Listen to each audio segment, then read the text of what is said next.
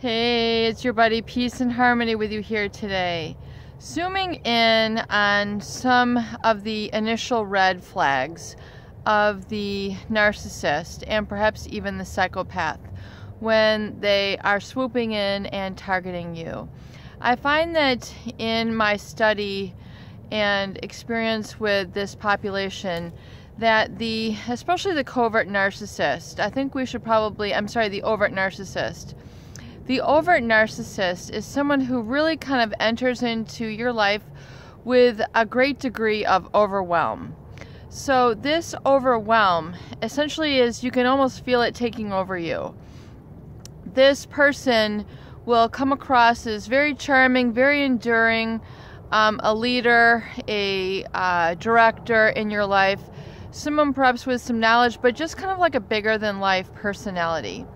And especially the psychopath will uh, definitely come across to people in a similar manner where they really are overwhelming.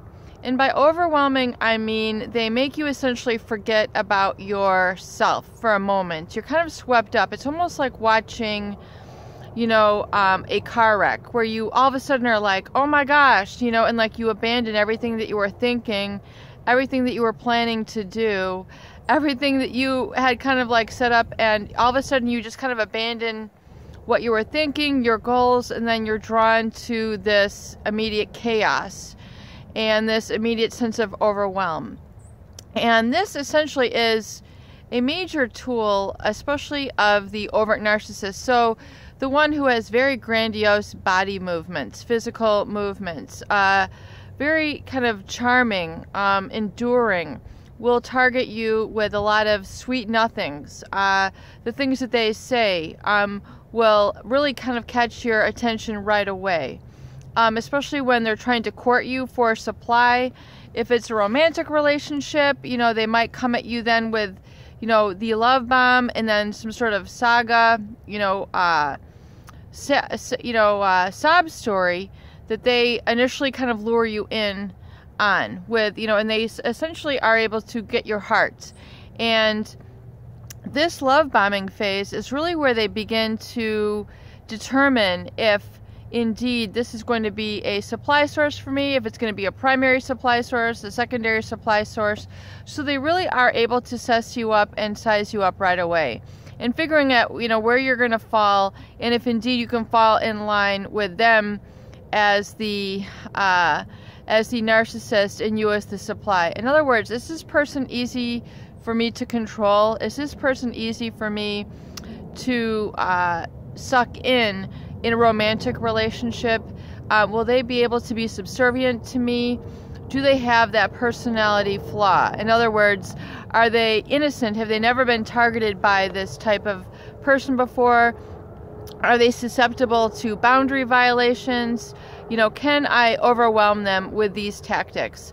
So you have to be very careful, I would say, if you're recently emerging from a narcissistic or psychopathic abusive relationship really try to, um, in terms of arming yourself for the future, be very wary of people who are really seeking to overwhelm you. Um, on that emotional or physical level. Because this is I, I really feel a true indicator of someone who is trying to violate your boundaries. In other words your personal space. If they make it you know all of a sudden you know uh, cross a boundary uh, for you emotionally uh, try to essentially get under your skin and manipulate and control you, be very careful and do not give up your control, your personal control to these people, no matter what setting it is. Um, I mean, if you're in a bar and you are drinking and you're drunk and you're looking to be overwhelmed or have your boundaries violated, I mean, then you're kind of asking for it. But if you are truly one who does not want to have your, your boundaries violated and be overwhelmed, and essentially be uh, seduced into this cycle where they're the one who is um, perpetuating this narcissistic tendency to manipulate and control. Be very careful of those who initially are coming on very strong and serve to overwhelm your system and get you kind of um, in a little bit of a uh, tailspin. I think this is uh, this awareness and uh, metacognition where you're able to acknowledge this, this will actually serve you very well.